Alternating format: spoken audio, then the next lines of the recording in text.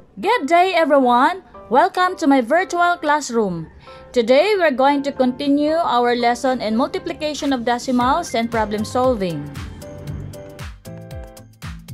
Our topic for today is about solving routine and non-routine problems involving multiplication without or with addition or subtraction of decimals and whole numbers, including money, using appropriate problem-solving strategies and tools. Now, solving problems with decimals such as like solving applied problems from the previous chapter. We need to understand first the given problem and plan for which operations to use. You may draw an illustration to help you visualize your plan or apply different strategies to derive a better result. Then you can solve and check. Let's start our lesson with problem number 1. For Jana's birthday, her sister bought a chiffon cake at 200 pesos and 50 centavos, 3 gallons of ice cream at 450 pesos and 20 centavos each, and macaroni salad worth 225 pesos. She brought with her two 1,000 peso bills. How much was left of her money? And to answer the problem, we can do the following steps. First, we have to understand. Okay, so in understanding, we have to read first the problem and then know what is asked for in the problem. So in our problem, the problem asked is how much was left for her money. Okay, then know the hidden information. So we have the total amount of 4 gallons of ice cream. That is the hidden question.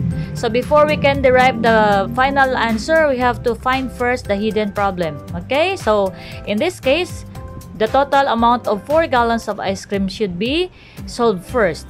And then, find the necessary information. And the hidden facts are 200 pesos and 50 centavos for a chiffon cake, 3 gallons of ice cream at 450 pesos and 20 centavos each, and macaroni salad worth 225, and 2 1,000 peso bills. And the next step is to plan. Okay, in planning we have to determine the operations to be used. Okay, so in our problem we have three operations, multiplication, addition, and subtraction. Okay, so we need to find the hidden question first in answering our problem, of course, we have to write the number sentence. Okay? So in our problem, the number sentence for the hidden question is 3 times 450 pesos and 20 centavos since we're going to look for the uh, total amount for the 3 gallons of ice cream. And then how much is the two 1,000 peso bills. Okay? So those are the hidden questions that we're going to do before we can derive the correct answer or the final answer. After knowing what to do in our planning, uh, we can now proceed to the solution. Okay, so we have here the equation for our problem. So as I said, we have three operations to be used, multiplication, addition, and subtraction. Okay, so in our equation, we have to follow the MDAS rule since we have three operations involved. Okay? So in MDAS rule, you have to multiply first before you can subtract or add.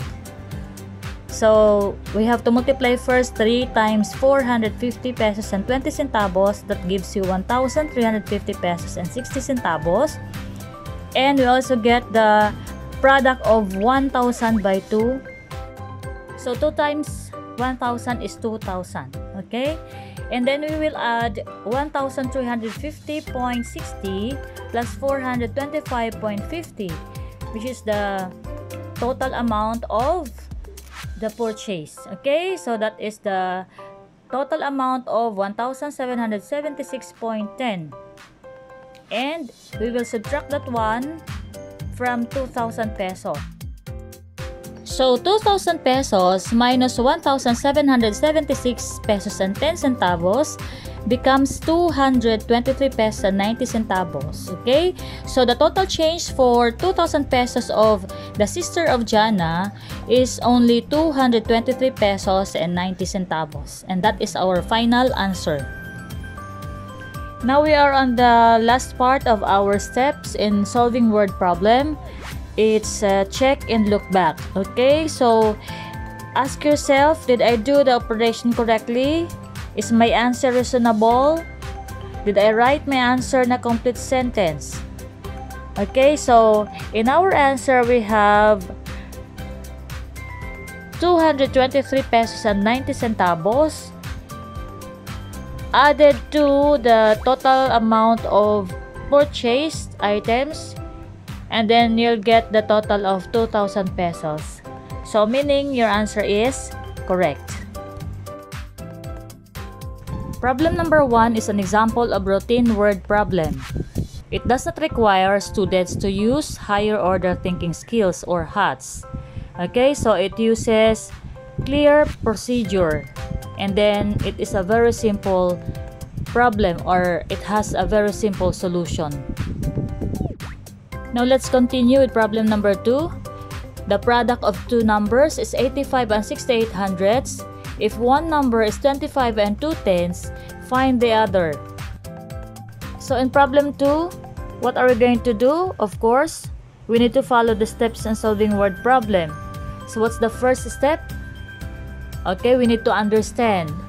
So in understanding, we will ask the question in the problem. So what is asked in the problem? The other number, okay? So find the other number. And what about the given facts? Okay, what are the given facts? The given facts are 85 and 68 hundredths, the product of two numbers, and 25 and 2 tenths, one number. And the next step is to plan. What are we going to do to solve the problem? In our problem, there is the word product, meaning you are going to use the multiplication sign, okay, in formulating our equation. So 85 and 68 hundredths equals 25 and 2 tenths times the other number. Okay, so as you can see, there is a missing factor in our equation. And in this kind of equation, it requires higher order thinking skills, meaning you are going to think of the solution. What are we going to do? We need to use or we need to think of a strategy in order for you to uh, derive the better result. And the strategy that we're going to use in our equation is working backward. Okay, because the product is already there, it is already given, and we're going to look for the missing factor and that requires a strategy which is working backward. And when we say working backward strategy, the operation must be reversed to get back to the beginning. Okay, so our equation requires uh, working backward since we already have the product. So we need to reverse our operation from multiplication to division. And the next step is to solve. Okay, so look at our equation. We change the operation from multiplication to division since we need to reverse our equation. If we divide 85 and 68 hundredths divided by 25 and 2 tenths, the answer is 3 and 4 tenths. So therefore, 3 and 4 tenths is the other number, which is the answer of our equation. And the next step is to check your answer, okay? So 85 and 68 hundredths is equal to 25 and 2 tenths times the value of the variable n which is 3 and 4 tenths. As you can see, the value of the expression on the left is equal to the value of the expression on the right of our equation. So meaning our answer is correct. So what do you mean by routine problem solving and non-routine problem solving? Routine problem solving concerns solving problems that are useful for daily lives. It has an immediate solution. And the non-routine problem solving is mostly concerned with developing people's mathematical reasoning power and fostering the understanding that mathematics is a creative endeavor.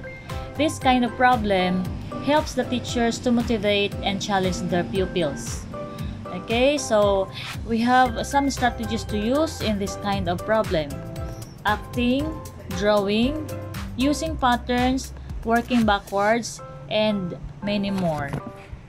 Now I'm going to give you some exercises for you to work on, okay?